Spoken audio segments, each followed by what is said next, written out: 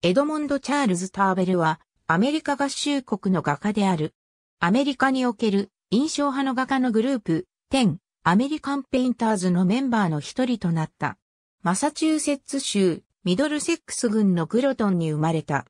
父親が南北戦争で戦病死した後、母親は機械製造会社の技術者と再婚し、ターベルと姉はグロトンで父方の祖父母に育てられた。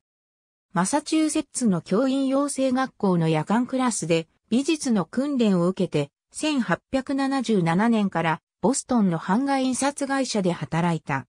1890年からボストン美術館の付属美術学校でエミーロ・トーグルントマンに学び、この学校で後にテンアメリカンペインターズのメンバーとなるロバート・ルイス・リードとフライク・ウェストン・ベンソンとクラスメートになった。当時も芸術の中心であったパリで学び事を進められ、1883年にパリの私立の美術学校、アカデミー・ジュリアンで、ギュスターブ・ブーランジェやジュール・ジョゼフ・ルフェーブルに学んだ。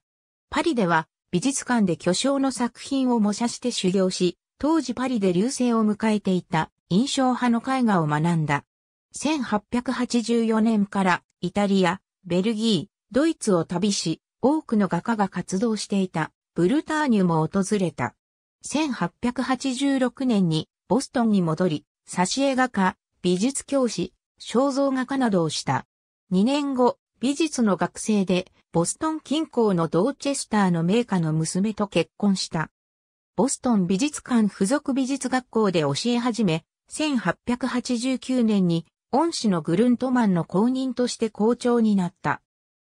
伝統的なアカデミック美術の教育を行った。ターベルの教えた学生には、クーリッジ、ブラウン、ページ、モーラ、ピアソン、ヘールらがいる。1897年に、ジョン・ヘンリーとワックトマンや、フランク・ウェストン・ベンソンらが結成したアメリカ合衆国における印象派の画家の集団、10アメリカン・ペインターズのメンバーとなった。10アメリカン・ペインターズは各地で展覧会を開き人気を得た。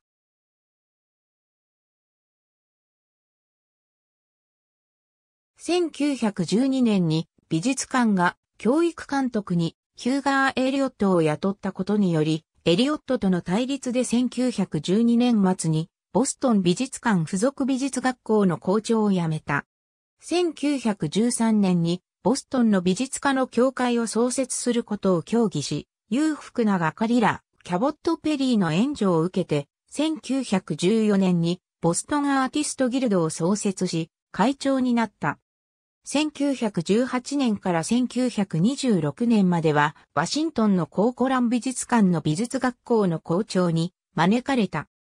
1925年にボストン美術館への復帰要請があり、諮問委員会の議長に任じられ、美術館の学校の新しい建物の建築などに関わったが、イギリス人の講師を雇いたいとする美術館の方針と対立して再び辞任した。多くの展覧会で賞を得て、1929年にはダートマス大学から名誉博士号を受けた。